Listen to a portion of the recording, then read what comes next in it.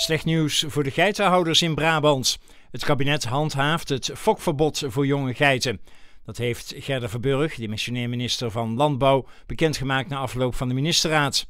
Geiten en melkschapen die dit jaar zijn geboren op een bedrijf dat besmet is geweest met Q-koorts, mogen ook de komende tijd niet worden ingezet voor de fokkerij.